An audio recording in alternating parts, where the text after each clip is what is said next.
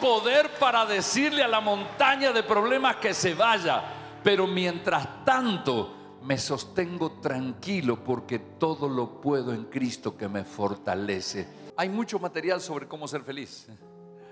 Está lleno porque todo el mundo promete la felicidad, pero el único que realmente promete en serio que vamos a vivir una vida plena de gozo es el Señor. Aprendamos a cambiar la impotencia que nos produce la angustia de no resolver algo por la quietud y la paz y la certeza que nos da el tener la oración en Dios. Si usted aprende a que sus acciones sean correctas y sabias, alineadas a la palabra, entonces todo lo que usted haga va a funcionar bien. No pierdas la paz por mantenerte estancado en tus circunstancias. Ser sabio requiere carácter, y cada vez que se nos presenta un problema adelante, le vamos a decir, quítate de ahí y andate al fondo del mar en el nombre de Jesucristo. Viva el presente, pero disfruta el gozo que está adelante. No mires lo que miran los de aquí abajo, mira lo que mira Dios. Hay mucho material sobre cómo ser feliz. Está lleno porque todo el mundo promete la felicidad, pero el único que realmente promete en serio que vamos a vivir una vida plena de gozo es el Señor aprendamos a usar estas siete claves para entrar a ese gozo concreto con Dios. ¿Está listo para eso? Dice Filipenses 4, no se preocupen por nada, más bien oren y pídanle a Dios todo lo que necesitan y sean agradecidos. Así Dios les dará su paz, esa paz que la gente de este mundo no alcanza a comprender pero que protege el corazón y el entendimiento de los que ya son de Cristo. ¿Le gustó esa palabra? Aleluya. Primera llave entonces, si, entendemos este pasaje, es cambiar la angustia y el estrés por oración. Hay gente que pasa más tiempo con el estrés y la angustia que en oración. A tu vecina decirle, Dice, no se preocupen por nada, más bien oren y pídanle a Dios todo lo que necesiten. No te angusties, ora. ¿Cómo estás? Angustiado. No, no te angusties, ora. Primera llave, cambie la angustia. No la tenga, no la sostenga, no la guarde. Sáquesela en oración. Quítesela en oración y con acción de gracias. Así que aprendemos, aprendamos a cambiar la impotencia que nos produce la angustia de no resolver algo por la quietud y la paz y la certeza que nos da el tener la oración en Dios, que es guiar a nosotros. Porque cuando nosotros oramos, activamos el poder para cambiar esa circunstancia. La angustia no cambia nada, el llanto no cambia nada. Puede ser que alguien te abrace y te diga, pobrecito, pero nada más. Pero cuando usted en vez de angustiarse ora, usted recibe poder para transformar la circunstancia. Como Jesús le pega un grito a la tormenta y la tormenta se calma porque hemos cambiado la impotencia y la angustia de que circunstancias que nos rodean no sean buenas, las transformamos. Aleluya.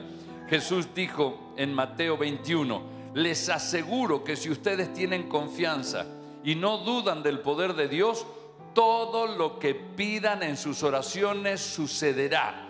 Hasta podrían hacer lo mismo que yo hice con la higuera y más todavía, si le dijeran a esta montaña, quítate de aquí y échate en el mar, ella les obedecería.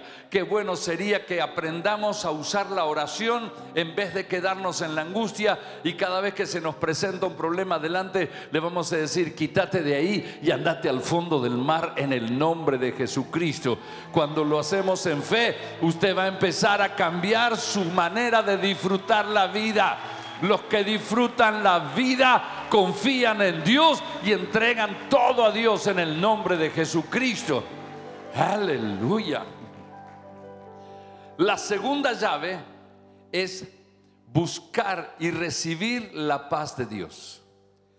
Porque el pasaje dice, no se preocupen por nada, oren, pídanle a Dios y sean agradecidos. Y dice después, así Él les dará su paz. Esa paz que la gente de este mundo no alcanza a comprender, pero que te protege el corazón y el entendimiento de aquellos que ya conocieron al Señor. Así que la segunda llave es buscar esa paz. Así Dios le dará esa paz que protege el corazón y el entendimiento. Salmo 34 nos enseña y dice, apártate del mal y haz el bien. Busca la paz y síguela. Busca la paz y síguela. Tiene que aprender a tener olfato, con olfato espiritual para detectar la paz. Aleluya. Hay gente que lo invitan a un asado y no sabe manejar el GPS o a veces no detecta bien dónde es la dirección. ¿Saben cómo llega?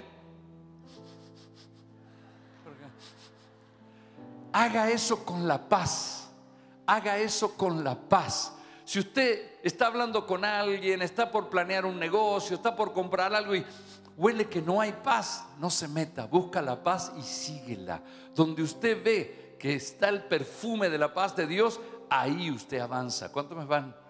Esto es espiritual, no es natural. Por eso los hijos de Dios podemos buscar la paz y seguirla.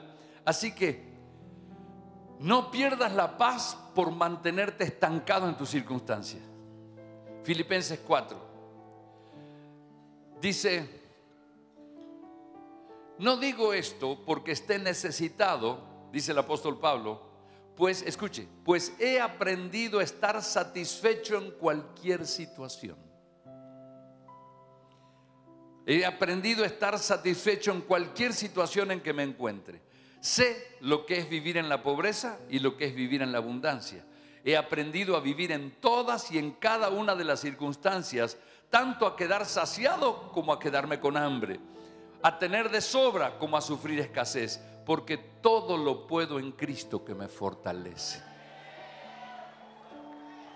¿Lo va entendiendo? ¿Lo va entendiendo? ¿Lo va entendiendo? Tengo poder para decirle a la montaña de problemas que se vaya, pero mientras tanto me sostengo tranquilo porque todo lo puedo en Cristo que me fortalece. Pero es que yo quiero ser feliz y tengo escasez. Sea feliz, parado en ese lugar, en la paz de Dios, sabiendo que Dios lo va a sacar de ahí. Estoy en confianza. Aleluya. Busco la paz y no la pierdo para mantener esa paz de Dios. Acuérdense que la llave es buscar la paz de Dios y mantenerla. Para mantener la paz de Dios, dice Primera de Pedro 5, pongan todas sus preocupaciones y ansiedades en las manos de Dios porque Él cuida de ustedes. Hay gente que conserva las preocupaciones adentro de la cabeza y entonces se van a dormir y se acuestan así y a los cinco minutos hacen así. Y se dan vuelta y aprietan así, se les vuelve a abrir. Y dice la palabra, echen toda su ansiedad sobre Él. Y en esta versión dice, pongan todas sus preocupaciones en las manos de Dios. Para eso tenemos que aprender a hacer oraciones de confianza, oraciones de fe con acciones de gracias. Señor, no sé cómo resolver este problema, así que te lo entrego y lo pongo en tus manos y te doy gracias, Señor. Gracias porque sé que ya está en tus manos y que vos lo vas a hacer. Aprendo a descansar en, en lo que no veo, porque la paz es la certeza de lo que espero y la convicción de lo que no se ve. Señor, ahí está lo puse a los pies de la cruz del Calvario. Señor, el que todo lo puede, ya tiene eso y Él conoce mi necesidad. Y ahora yo descanso, me relajo en tranquilidad y la paz que Dios me dio no la voy a perder. Estás diciendo, Señor, a mí me preocupa mucho esto que viene. ¿Y cómo estás? Bien.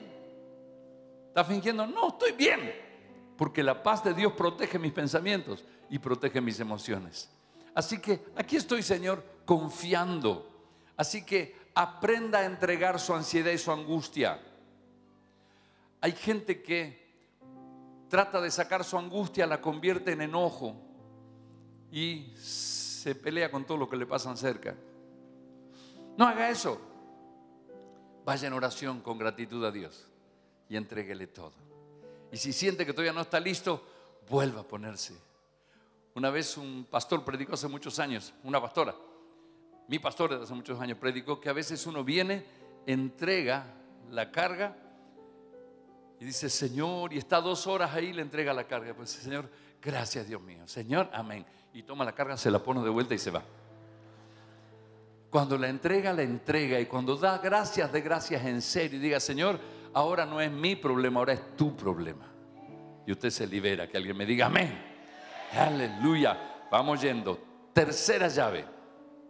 Aprenda a pensar, a hablar y actuar con sabiduría sea sabio, no necio. Los necios dicen amén. Los sabios dicen amén. tengo una congregación de sabios. ¿Sabe una cosa?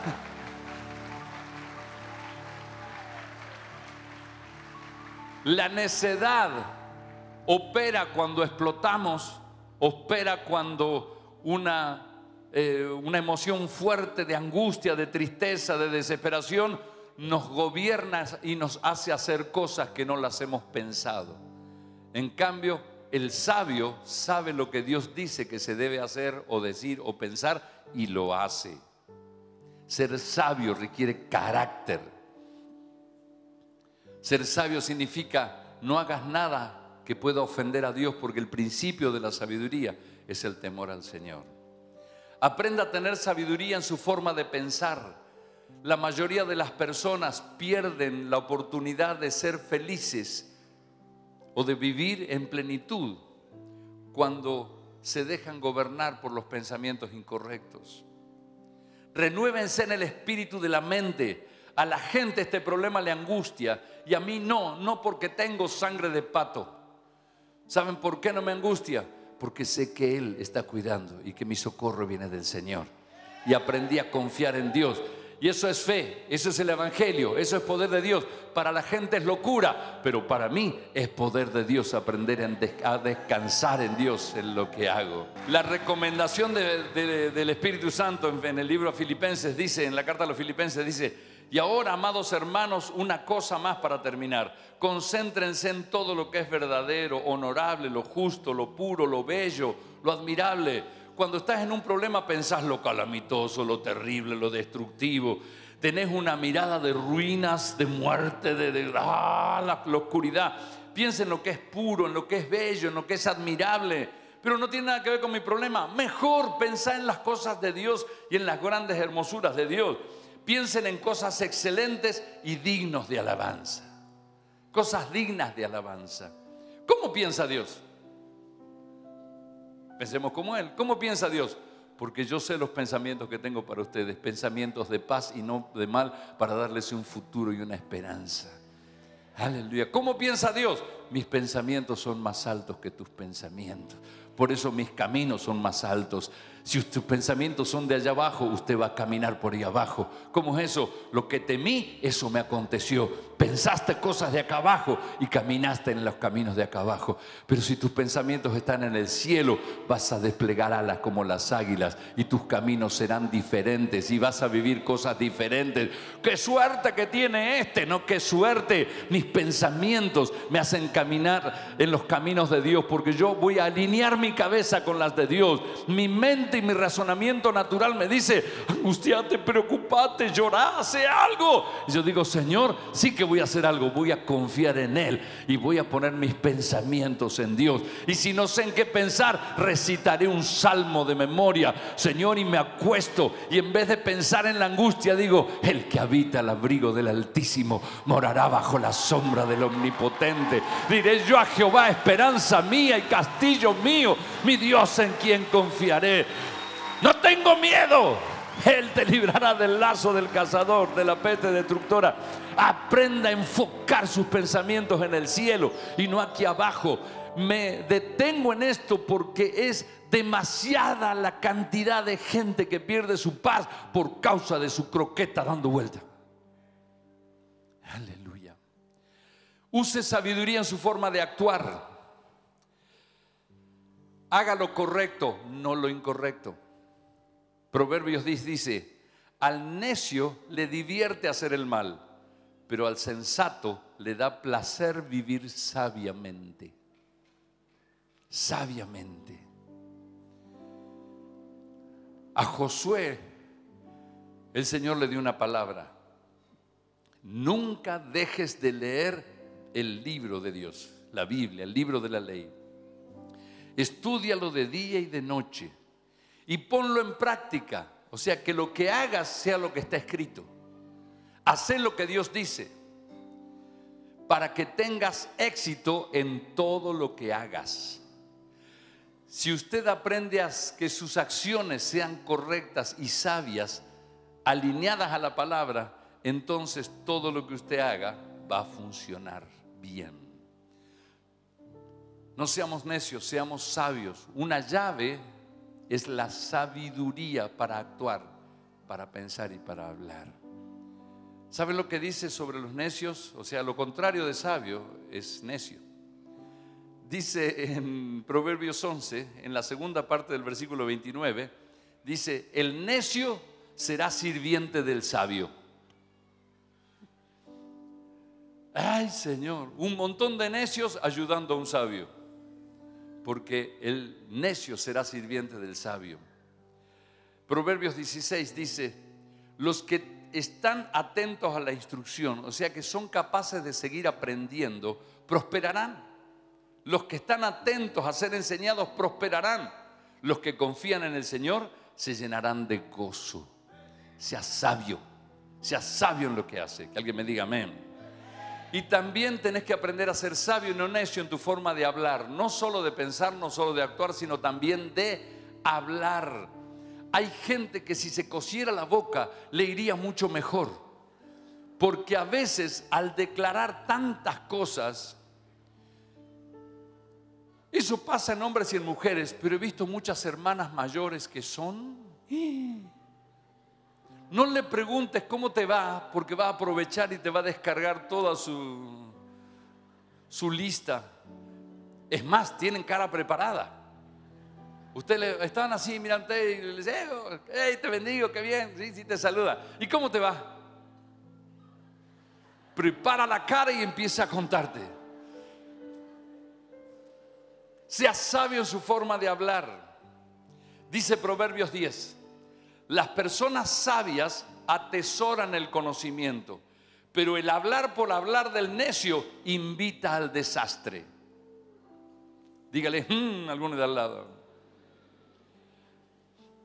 Proverbios 10 dice, encubrir el odio te hace un mentiroso, difamar a otros te hace un necio.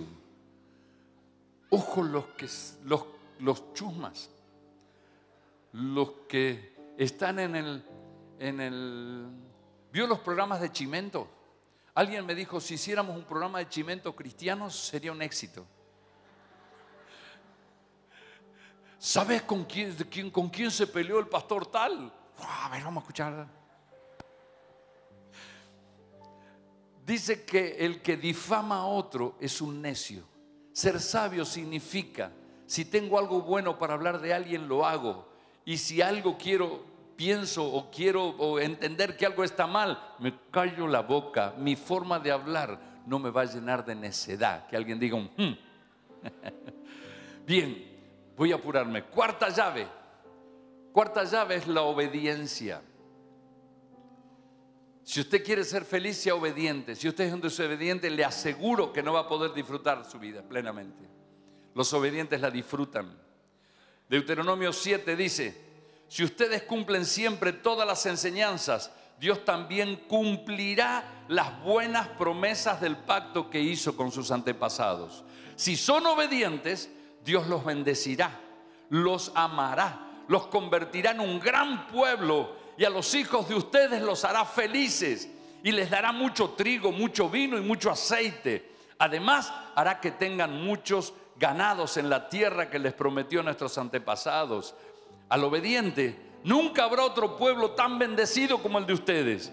No habrá una sola familia que no tenga hijos y todos sus ganados tendrán crías. Dios no permitirá que ninguno de ustedes se enferme Cualquiera que los odia recibirá el mismo castigo que recibió Egipto. En cambio, a ustedes no les pasará nada. ¿Quiere ser feliz? Sea obediente. ¿Quiere ser feliz? Sea obediente. En la obediencia está la bendición, dice la Escritura. Aleluya.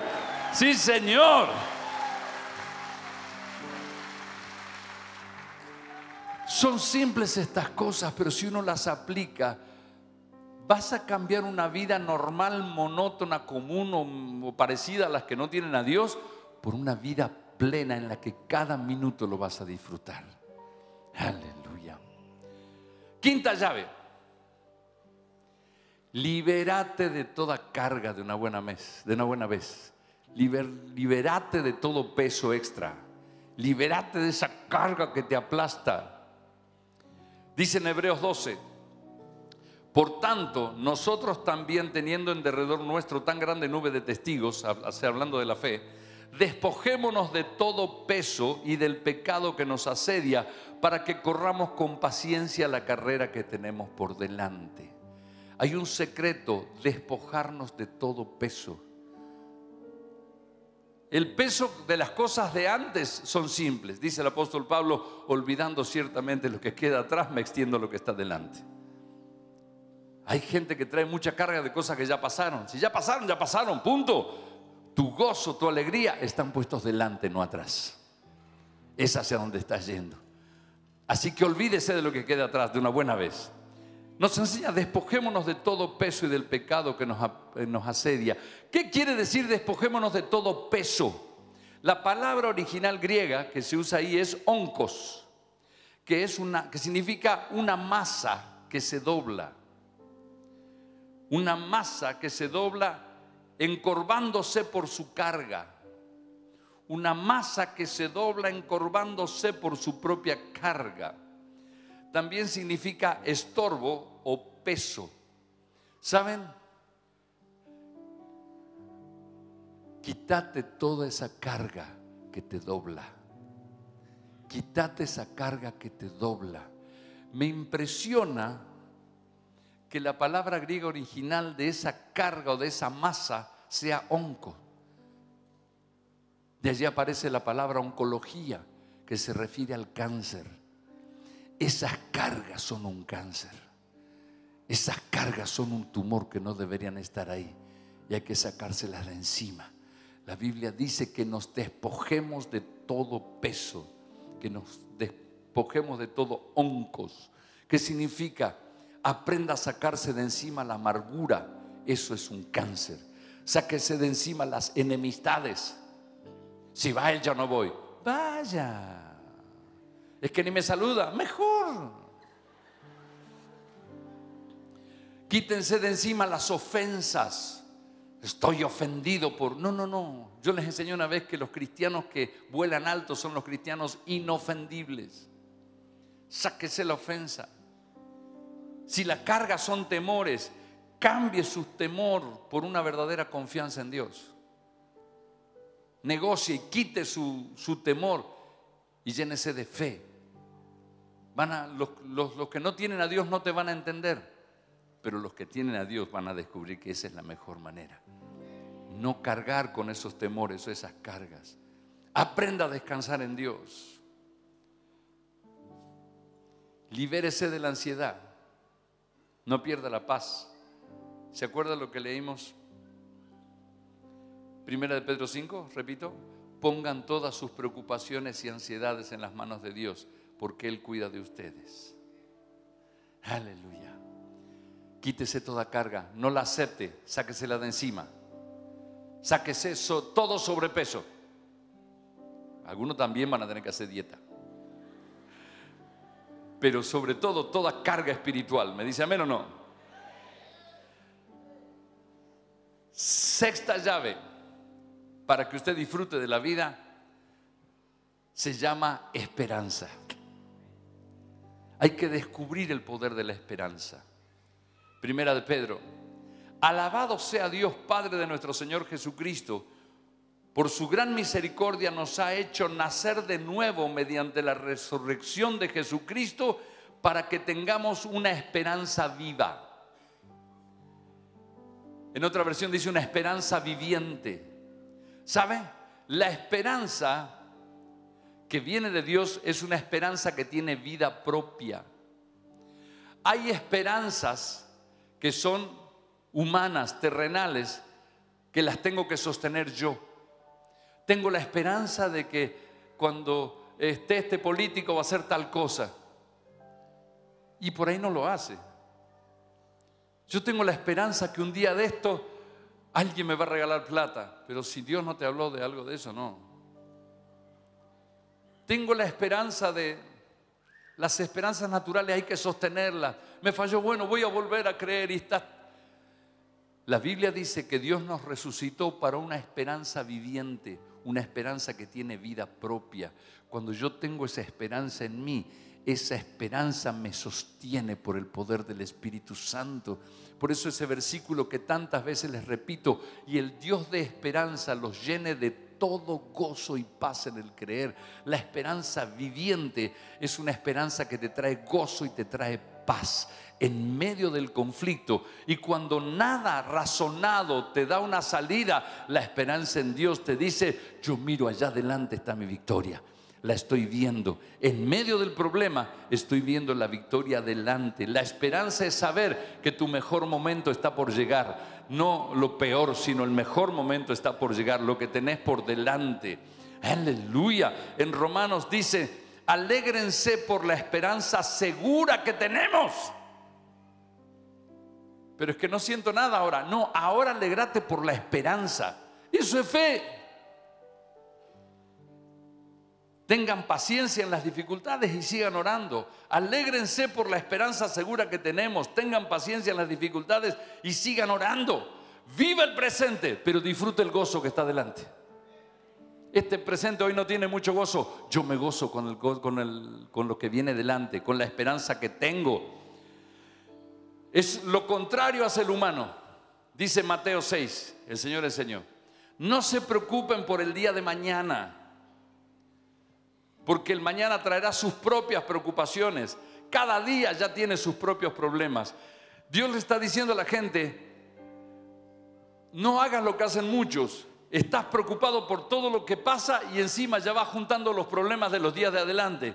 Y allá puede pasarme esto y en lo otro me va a pasar aquello y juntan toda la mugre de los bajones que pueden venir. Y Dios dice, no hagan eso, no hagan eso. Al contrario, gócense en la esperanza de las victorias que están delante. Dios no nos da permiso. Dice, en el mundo tendrán aflicciones, pero en cada uno Dios va a mostrar su mano y me va a ayudar con poder y estaré animado. Pero las aflicciones del futuro no las traigas. A cada día le basta su propio mal, ya llegará su momento. Pero sí, el gozo de la esperanza que está delante, ese sí traerlo y disfrutarlo. Ese es el plan de Dios. Mira el futuro esperando el gozo de Dios. Aleluya. ¿Será que se puede? Jesús lo hizo así. Jesús lo hizo así. Dice Hebreos 12, pongamos toda nuestra atención en Jesús. Esa es la manera de estar esperanzados. Pues de Él viene nuestra confianza y Él es quien hace que confiemos cada vez más y mejor. Jesús soportó la vergüenza de morir clavado en una cruz porque sabía que después de tanto sufrimiento, él sería muy feliz. El Señor tomó fuerzas en el gozo que estaba adelante cuando él estaba en su peor sufrimiento.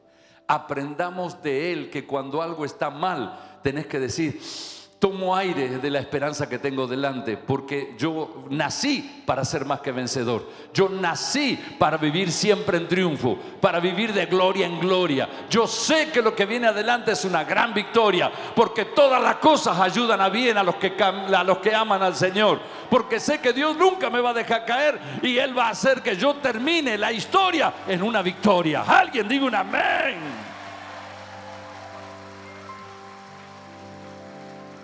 Séptima llave. Aprende a mirar todo con los ojos de Dios, desde la óptica de Dios. Mira todo con ojos de eternidad. No mires lo que miran los de aquí abajo, mira lo que mira Dios. Aleluya. Tenemos que aprender a abrir nuestros ojos espirituales a las pequeñas, grandes cosas que la mayoría de la gente pasa por alto.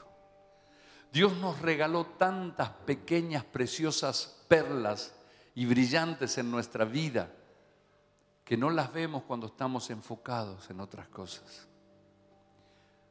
A medida que la edad avanza, uno va descubriendo cuántas cosas no disfrutó en algún momento, pero cada vez que la edad te enseña eso, descubrís que ya las perdiste. Dios dice, yo quiero que las veas antes y las vayas disfrutando. Las vayas disfrutando. Un día estaba muy estresado y eso me había puesto de muy mal humor. Y yo había generado una atmósfera medio tensionada en mi casa. Tenía mucho trabajo, servía al Señor. Ya estaba empezando a pastorear como ayudante de mi pastor en ese momento. Tenía mis tres chicos en diferentes edades, uno pequeño, el otro mediano y el otro en la escuela. Eh, y había que atenderlos a todos en su tamaño y en sus cosas. Y cuando yo volví así, me dice, che, hay que llevarlo a tal, a, a la escuela porque tienen tal cosa. Ahí salía de vuelta y estaba así.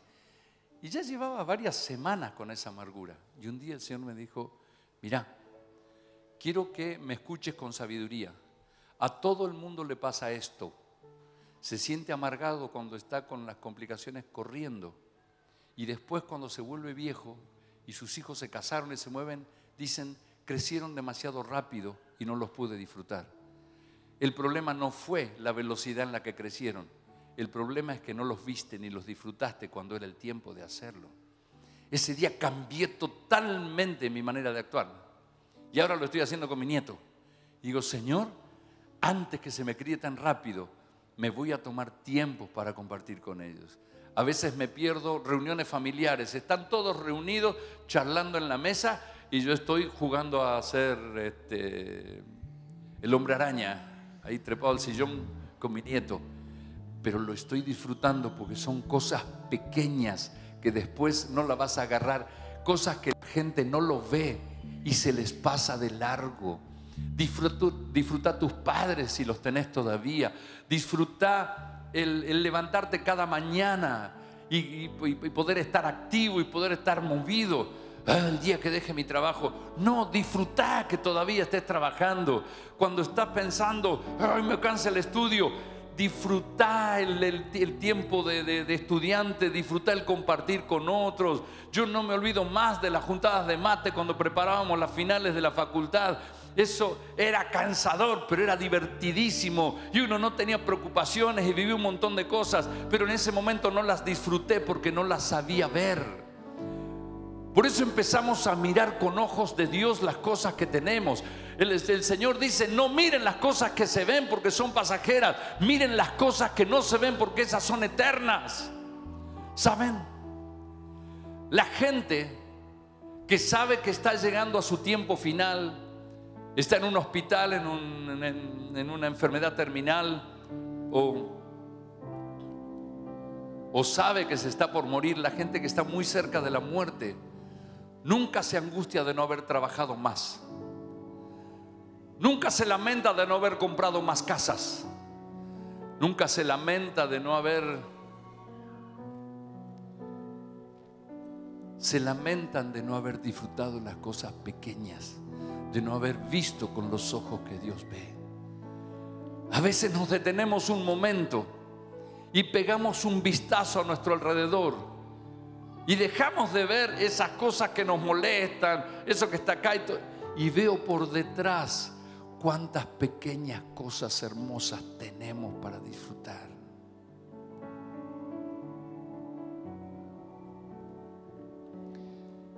Mire fotos de hace algunos años y usted va a ver momentos y reuniones y cosas. ¡Ay, qué lindo que era eso! Pero yo ese día estaba loco porque tenía que cocinar para todo y no, no disfruté nada. Dese cuenta que hay mucho para ver. La gente pasa la vida sin disfrutar a Dios. sin disfrutar la presencia de Dios. ¿Sabe que en el cielo vamos a vivir en la presencia de Dios? Pero ¿cuánto vamos a valorar que cuando estábamos en el tiempo de la lucha en nuestra carne aquí en la tierra, podíamos encontrarnos con Él y teníamos esos encuentros, esos encuentros privados? Allá en el cielo vamos a ser cientos de miles de millones cerca de la presencia de Dios.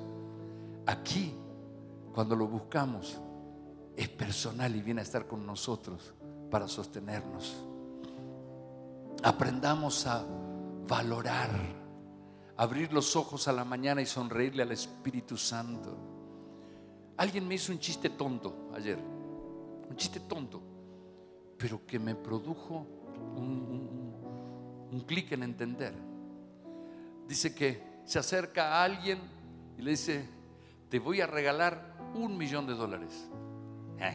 No, en serio, te voy a regalar un millón de dólares. ¡Wow! ¡Qué bueno! Me alegra. Pero em, te lo voy a dar, pero mañana no vas a amanecer. Hoy será tu último día. Eh, no, no quiero. Así que para vos levantarte a la mañana, mañana a la mañana, vale más que un millón de dólares. Sí, sin embargo, vas a abrir los ojos y no te vas a dar cuenta de lo que significa tener un nuevo día otra vez. Volver a disfrutarlo. ¿Sabes? Cuando uno aprende a disfrutar de lo que tiene, puede decir, como dice el apóstol Pablo, hasta en nuestras tribulaciones yo disfruto. Porque él aprendió que por ahí estaba en medio del conflicto, pero decía, Señor, disfruto que me pasa eso porque te estoy sirviendo. Señor, disfruto que estoy vivo, disfruto que puedo sentir, disfruto la esperanza que tengo puestos los ojos en Jesús, el autor y planificador, completador de nuestra fe. Nada te puede quitar que seas feliz. Nada te puede quitar. ¿Qué nos podrá separar del amor de Dios? Angustia, hambre, desnudez. En todas estas cosas somos más que vencedores por medio de aquel que nos amó. Renova tu cabeza, no piense como el mundo. Vos y yo somos unos privilegiados. Dios está conmigo y si Él está conmigo, ¿quién contra mí? Él y yo somos mayoría. Si tengo todo y no tengo a Dios, ¿qué tengo? Si tengo a Dios, ¿qué me falta? Qué manera de desenfocarnos el mundo y el diablo para que no disfrutemos lo que tenemos. Sé feliz ahora sin que nada cambie. Y Dios va a empezar a cambiar las cosas. Pero no te vas a desesperar porque cambien, porque vas, a estar disfrutando, no vas a estar desesperado.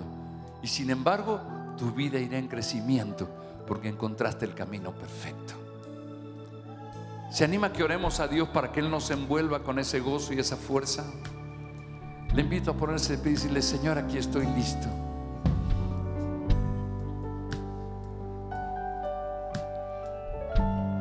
Aleluya. Aleluya. Disfrutar lo que Dios te entrega. Recibí una, un gráfico de esos que, que mandan por las redes, que decía, hijo, esta mañana te preparé un amanecer increíble. Le puse colores muy especiales, estuve inspirado. Mezclé tonos de celestes con tonos de... Lo diseñé con rayos de sol y de luz impactantes. Lo hice para vos pero no lo viste. No importa, mañana te hago otro. Cada amanecer es valioso, cada despertar es valioso. Será tus ojos en el Señor, por favor, ahora. Y yo les propongo que seamos sabios. Y lo primero que vamos a hacer, les propongo, los que están conectados también, pídale perdón al Señor por correr esta vida sin mirar cuánta cosa linda hay alrededor nuestro. Señor, perdóname, porque muchas veces estuve enojado ¿O estuve amargado cuando tenía todo para ser feliz?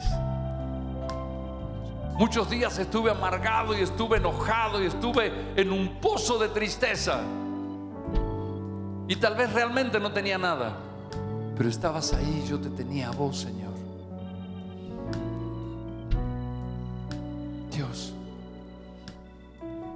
Aquí estoy, Señor. Te pido perdón si no aprendí a disfrutar cada minuto de mi vida. Así que ahora te pido que me ayudes. Quiero disfrutar este minuto y el que viene cada momento de este domingo, cada momento de mañana, abrir mis ojos y disfrutar respirar, disfrutar la esperanza que tengo delante, sabiendo que lo mejor de mi vida está delante mío. Aleluya, aleluya. Señor, enséñanos a cambiar toda angustia y toda carga por oración. Enséñame a cambiar esos momentos de tristeza por momentos de oración en fe. Enséñame a buscar, Señor, y a recibir con fuerza la paz de Dios que sobrepasa todo razonamiento. Quiero que mi alma esté protegida por ti, Señor te pido, Señor, que me enseñes a ser sabio y no necio. Sabio para hablar, sabio para pensar, sabio para actuar. Te pido, Dios, que me enseñes a librarme de toda carga del alma. No quiero vivir doblado como ese oncos, como esa masa que se dobla por la carga. Señor, Tal vez hasta me acostumbré y hasta disfruté andar con esa carga. Pero ahora te la entrego. Te la entrego, Señor. Te la entrego. aprendamos a echar nuestra ansiedad sobre Él. Enseñame a echar mi angustia sobre ti.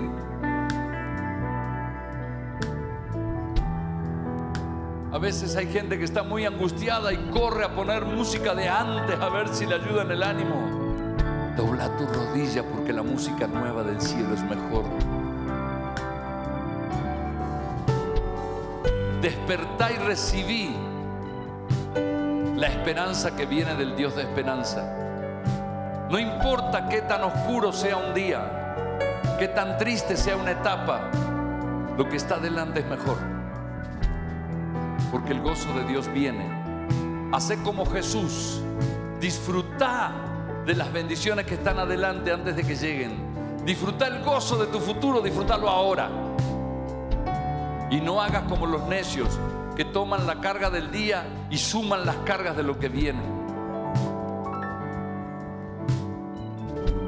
Enseñanos, Dios mío, a mirar todos con ojos de eternidad, a disfrutar las cosas que nadie valora, a descubrir, Señor, que aunque no tenga un peso, muchas veces soy rico por todo lo que me diste.